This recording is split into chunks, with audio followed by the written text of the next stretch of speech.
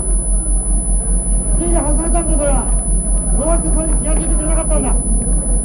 去年の10.2日から1年間俺は自衛隊を怒るのを待ったもうこれで憲法改正のチャンスはない自衛隊は国民の不はない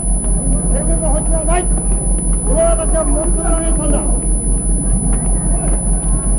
自衛隊にとって